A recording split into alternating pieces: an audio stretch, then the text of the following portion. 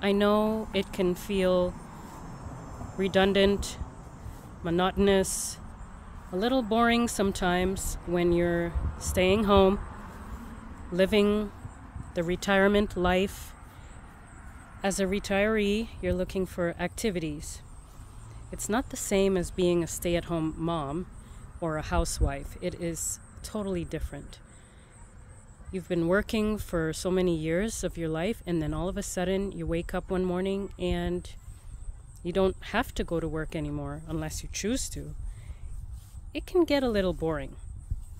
There are only so many TV shows you can watch, so many soap operas you can follow. And after a while, you'd like to go outside, explore nature, have some adventure. I've been receiving emails from seniors within the last while.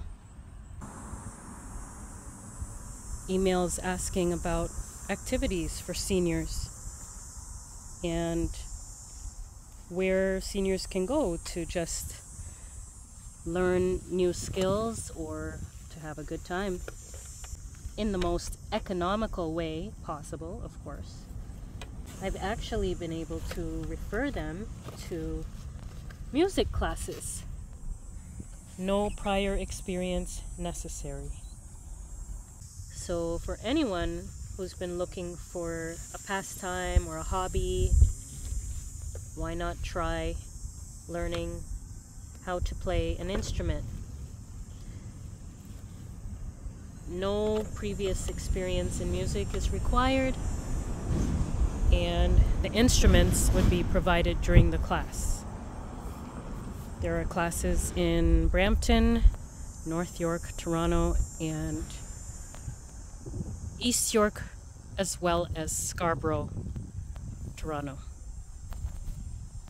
Whether you're living in the West End or the East End, why not try playing the steel pan?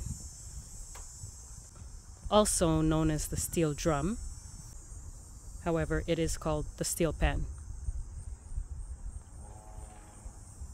For information, just send an email to steelpancanada at gmail.com.